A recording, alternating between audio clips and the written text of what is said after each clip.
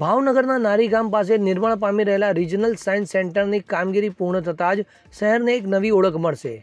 ભાવનગરવાસીઓને માહિતી સાથે મનોરંજન મળી રહે એ માટે અંદાજે નેવું કરોડના ખર્ચે સાયન્સ સેન્ટરનું નિર્માણ કરાયું છે. સેન્ટરના મ્યુઝિયમમાં વિવિધ પાંચ ગેલેરીનું નિર્માણ કરાયું છે, જે લોકોમાં આકર્ષણનું કેન્દ્ર બની રહેશે. સેન્ટરની હાલ નેવું ટકા કામગીરી પૂર્ણ થઈ ચૂકી છે. રિજનલ સાયન્સ સેન્ટરનું ભાવનગરના નારીગામ પાસે વીસ એકર જમીન પર નિર્માણ કરવામાં આવી રહ્યું છે. સેન્ટરમાં થીમ આધારિત વિવિધ પાંચ ગેલેરીનું નિર્માણ કરાયું છે. ભાવનગર સૌરાષ્ટ્ર વિસ્તારમાં વિજ્ઞાન, એનર્જી, વિકાસને ધ્યાનમાં રાખીને પ્રાદેશિક વિજ્ઞાન સંગ્રહાલયમાં શાળાઓ, કોલેજના વિદ્યાર્થીઓને તેમજ સામાન્ય લોકો અને મુલાકાતીઓને શિક્ષિત કરવા, સંલગ્ન કરવા તથા અનુભવ કરવા માટે નવીન પ્રદર્શનોવાળી થીમ આધારિત ગેલેરીઓ છે.